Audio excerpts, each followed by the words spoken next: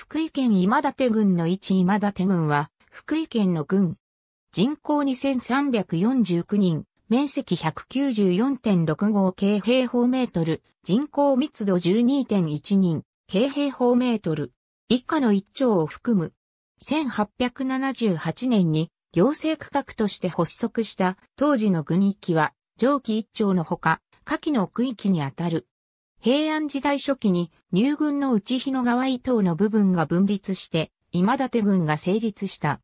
中世以降、今北東軍、今北西軍、今南東軍、今南西軍の4軍に分割されていたが、漢文4年に今立軍として統一された。江戸時代から明治時代にかけて、旧今立軍の今立地区高和伝軸の越前漆器職人であり、漆の専門集団である越前州が全国に漆かきに回る。明治時代には江戸時代を上回る多くの越前州の出稼ぎ、移住もあり漆器製造の工場普及に貢献し、全国の漆器産地が形成される。現在では昭和、平成の大合併により、軍の成立の経緯とは異なり、元の今立軍域のかなりの部分が、日野川西岸の竹尾に中心を置く、越前市に属する状態となっている。